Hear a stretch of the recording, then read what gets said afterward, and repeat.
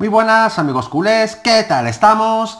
El Barcelona siempre ha tenido como objetivo fichar un delantero centro en verano, como complemento para Luis Suárez en el eje del ataque azulgrana. Para la próxima campaña, la Secretaría Técnica baraja en estos momentos la opción de fichar a Richard Lisson, el delantero brasileño que milita actualmente en el Everton inglés y al que viene siguiendo desde hace tiempo.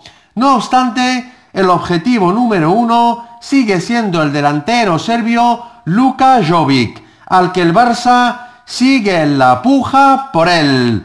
Esto ha sido mi notición de hoy, amigos culés. No os olvidéis suscribirse a mi canal, no os cuesta nada, pulsar un like como siempre y dejarme comentarios para cambiar opiniones. Muchas gracias y nos vemos muy pronto en mi próximo vídeo.